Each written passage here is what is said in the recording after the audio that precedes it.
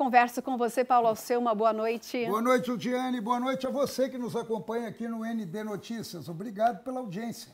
Assunto seu, em informação do Paulo Alceu. Saiu o relatório do Tribunal de Contas pedindo para assustar aí um pagamento aos procuradores do Estado. Que verba é, uma, é essa? É uma verba remuneratória que eles conquistaram e que agora. Foi sustado. Alguma irregularidade, Paulo? Olha, pelo visto, segundo o relatório, é considerado uma ilegalidade. Ilegalidade. A situação é bem delicada. O esperado relatório do conselheiro Vandal sobre o suposto pagamento irregular de verba de equivalência a procuradores do Estado por despacho, esse despacho foi feito pelo secretário de administração, endossado pelo governador Moisés esse relatório foi concluído hoje. E na interpretação da equipe técnica do Tribunal de Contas, não seria possível equiparar os salários dos procuradores do Estado com os procuradores da Assembleia Legislativa.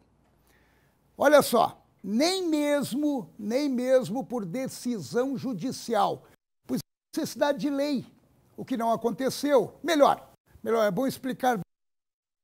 A lei até ocorreu, só que justamente na parte que tratava de equiparação, o governador Moisés vetou e depois concedeu o aumento com base no que ele vetou.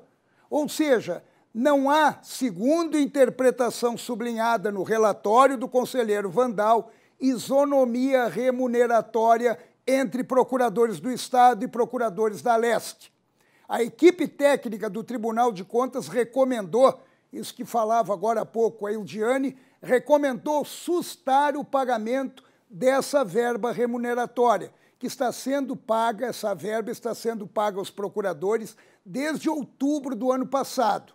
O conselheiro Vandal pediu a manifestação do Ministério Público de Contas, uma manifestação o mais rápido possível, antes que rode a folha de pagamento do Estado, que acontece no dia 29. Tudo indica que houve uma ilegalidade. Agora, quem vai arcar com os prejuízos do erário? E como a Casa Civil e a Secretaria de Administração do governo não viram isso?